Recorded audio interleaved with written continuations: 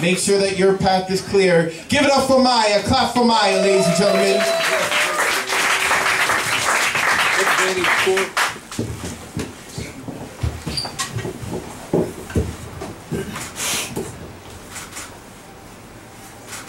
Excuse me, boy.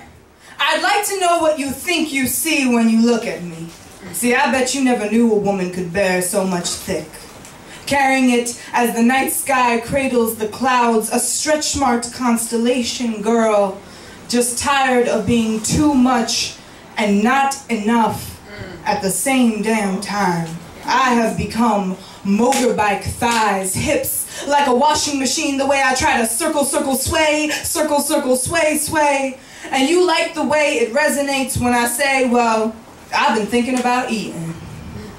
But hear me when I tell you that this body has known far too many mirrors and not enough eyes.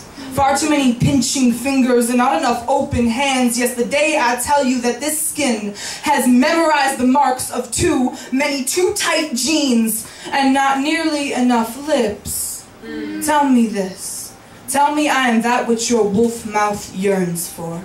Yes, play me for a moon, for the promise of something new, for a fullness that you have never known but damn sure would like to. Mm-hmm. And because I'll never be daisy dainty, tell me I am sunflower heady, a heavy, pleasing balance of bristle and amber colored flesh. See, I bet, I bet you never knew that size does matter mm. when it's a matter of looking good for you.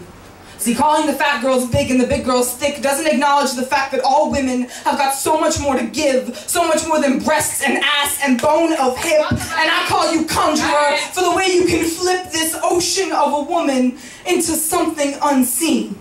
An echo of all she could have been. I could have been the breath in your sails. I could have been the mist on your skin. Turn me gently, and I'll complete you as the moon does the sun. And then rock me rough, and maybe we'll create tsunamis with our love. All this surplus of wave crush in between your palms.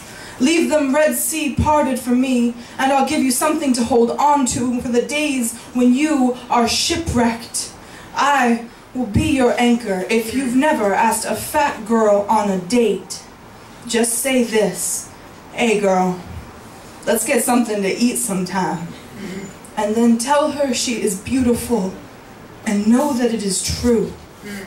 She'll probably respond with, hey boy, how'd you know I was so hungry? I've been so hungry for you. Wow.